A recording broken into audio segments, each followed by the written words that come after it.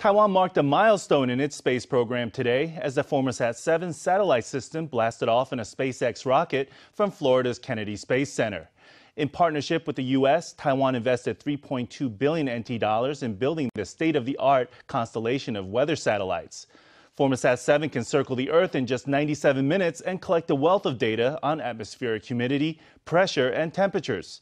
The data can be used to study storm formation and to increase the accuracy of weather forecasts by up to 10%. The Formosat 7 weather satellite cluster launched successfully early Tuesday morning, Florida time. Carried by a SpaceX Falcon Heavy launch vehicle, it lifted off from the Kennedy Space Center in Florida. Throttle bucket for sidecar. We're through max Q. The launch was delayed three hours due to a problem with the triple core Falcon Heavy's hydraulic oil pressure system.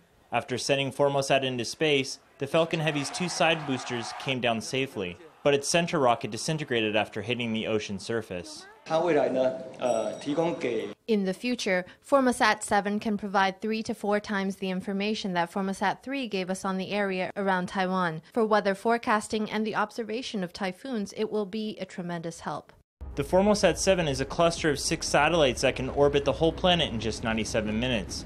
The system will replace Formosat 3 and help enhance weather forecasts by up to 10%. President Tsai Ing-wen traveled to the National Space Organization facilities in Hsinchu to watch a live broadcast of the historic launch. Our entire team worked day and night to make this happen. This country will continue to give them the utmost support to allow them to continue carrying our nation's space technology forward. Well, I think this um, project between um, uh, our two um, scientific communities says a lot about the, the important state not only of our science and technology relationship, but the uh, overall relationship uh, between uh, the United States and Taiwan.